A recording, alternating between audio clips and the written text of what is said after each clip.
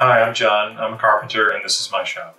I'm testing out a few different ways to sand this cabinet door. The first and uh, more typical method that I would use is just a wooden sanding block and a loose sheet of paper.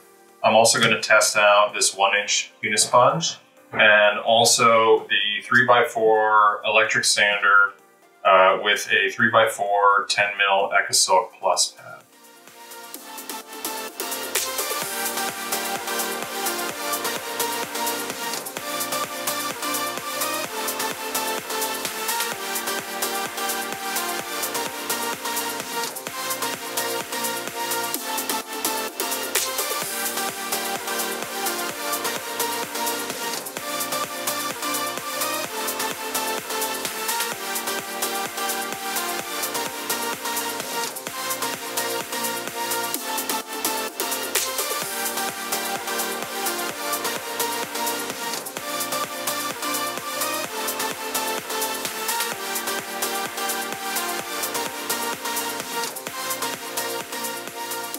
So I just finished testing uh, all the different methods to sand this cabinet door.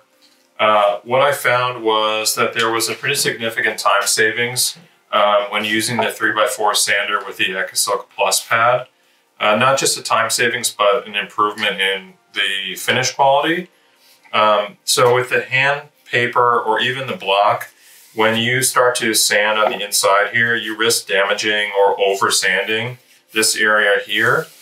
Uh, with the Ekasilk Plus pad on the 3x4 sander, I'm able to get inside of these areas without damaging or even sanding at all the small section here because the edge of the Ekasilk Plus pad is this kind of squishy foam.